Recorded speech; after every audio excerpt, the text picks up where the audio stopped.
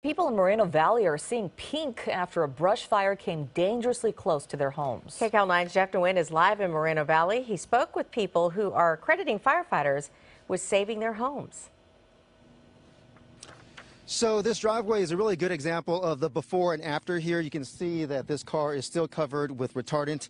There is some staining on the ground here and this wall completely pink. This afternoon, firefighters drove through here. They knocked on some doors to offer a helping hand it was so pink. Everything was all pink. Gavin Bryan says his house looks so much better than it did after he shot this video on his phone.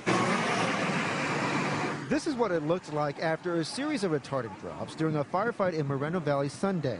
The coating was so thick you couldn't see through the windows. It looked like kind of like goo, you know, like slime, like what came from Scooby-Doo or something like that. But neighbors here aren't complaining firefighters saved their homes and then surprising everyone, they came back and washed backyards and driveways. In all, they helped to clean up at least 20 homes.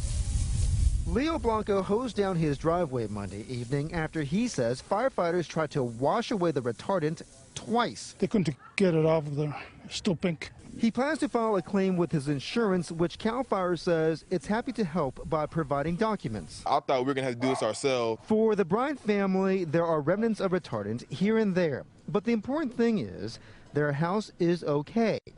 And they believe the firefighters went above the call of duty. Like I know firefighting, that's their job, but cleaning the driveway and everything, you know, I didn't think that was something that they're going to do. And CAL FIRE has set up a phone line to help home, homeowners with their cleanup project as well as documentation for their insurance. We have that information posted on our website at kcal9.com. For now, ladies, we'll send it back to you.